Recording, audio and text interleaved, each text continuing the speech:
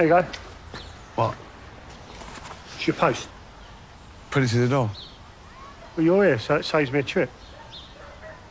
I don't want to walk with it, do I? Why not? You're new, aren't you? Yeah, I was transferred. No, no, of- no, I don't care.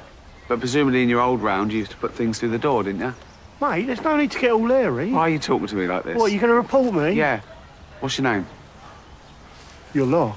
Trust me. It's Pat. Postman Pat. Yeah.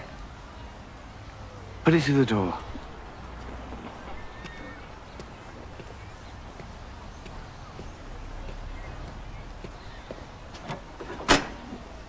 That was easy, wasn't it?